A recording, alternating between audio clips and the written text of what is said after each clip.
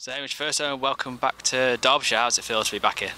Yeah, it's really good. Um, obviously, um, nice to be back and, and, catch up with everyone after what has been a long and uh, grueling winter for everyone. So it's, it's nice to be back.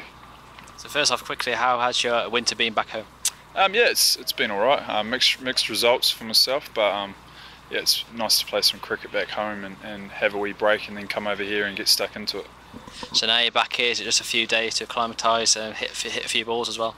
Yeah, it's been nice to be around the group for I suppose the last week. Um, get in the gym, have a run round, a bit of fielding, and then yeah, some batting as well. I suppose you come back with Neil Broom as well here as well. Um, what do you expect from from him this summer?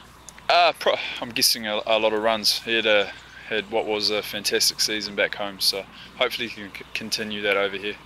And just looking forward to the first championship game with the Billy's unfortunate injury. You'll be a leading the side. You're looking forward to that challenge.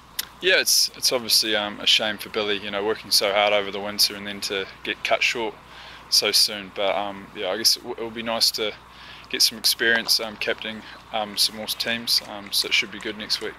But you had experience as well leading Otago back at, back home. Yeah, yeah. So yeah, I had uh, captain last year for them, so it's still new for myself. But um, you know, like I said, getting some more experience here and trying to help where I can here will be will be good. But you have help from senior players Wes and Wayne as well. Yeah, yeah. There's plenty of senior players around here, and you know, I'm sure everyone will uh, will help me out along the way.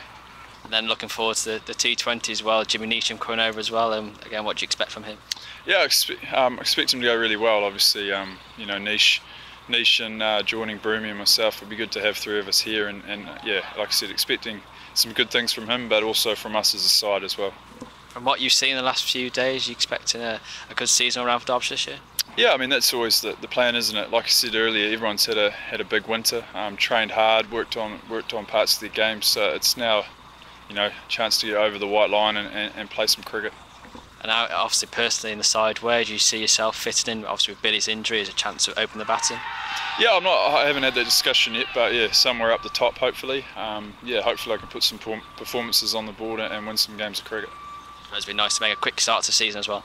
Yeah, it's always nice to score some runs early in the year. It uh, makes it easier back in, but um, you know we'll see how we go.